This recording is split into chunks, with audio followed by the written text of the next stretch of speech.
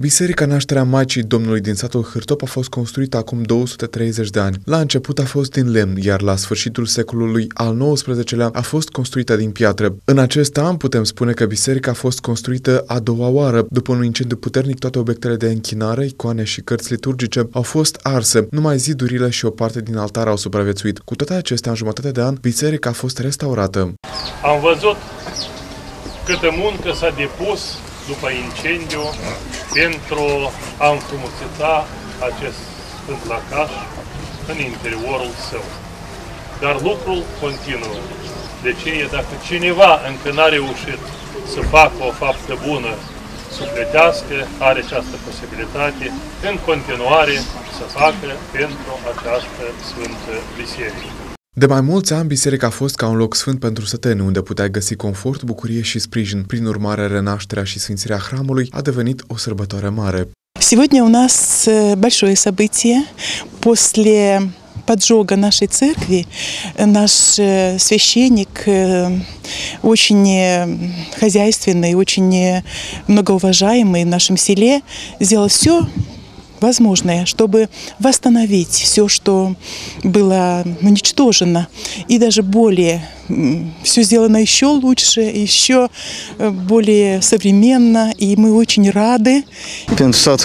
sărbătoare foarte mare, că este mult așteptat, deci se redeschide biserica, se va sfinți după tragicul eveniment care o ars, a fost devastată și cu, cu mare greu, deci contribuția populației foarte mult.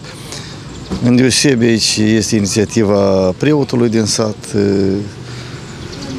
Consiliul Local a ajutat, foarte mult s-a impus domnul deputat Eugen Nichiforciuc, s-a ajutat și financiar, și, dar totodată nici lumea n-a fost pasivă, populația din sat a fost tot timpul prezentă aici la lucrări. Preotul bisericii slujește aici timp de 15 ani. El este interesat să ofere tuturor oamenilor atenție și sprijin. Datorită inițiativei sale, pe lângă biserică, a fost organizată o cantină socială și ea a fost sfințită. Am hotărât împreună cu Consiliul Bisericesc ca să organizăm uh, câte un prânz cald după fiecare Sfântă Liturghie.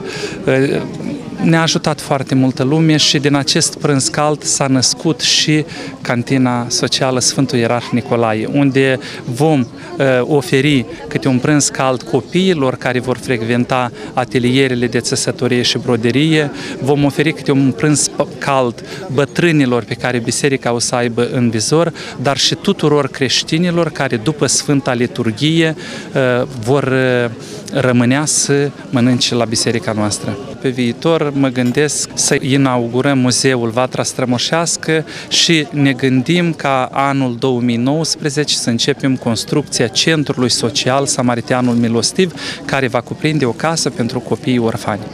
În toate timpurile, ajutorul pentru biserici, mănăstirea era considerat o faptă mare. Prin urmare, după incendiu, sătenii s-au unit împreună și au început să lucreze. Desigur, au fost și ctitori, oameni care nu sunt indiferenți și responsabili.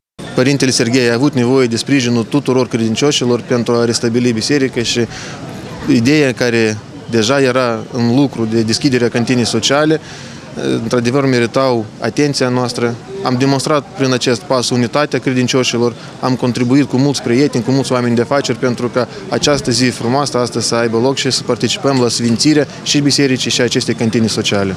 Mă bucur că și biserica susține misiunea socială îndreptată spre cetățenii Republicii Moldova. Această cantină va putea găzdui 100 de persoane care vin, care se roagă și care au nevoie de sprijinul și atenția noastră. Ne-am asumat această responsabilitate și vom susține această cantină pe tot parcursul activității ei. Lucrările de restaurare au fost finalizate. Cu toate acestea, este încă mult de lucrat, de pictat biserica. Urmează a fi cumpărate icoane și o cadă pentru botezul copiilor. În sat nimeni nu se îndoiește că în curând toate acestea vor fi făcute.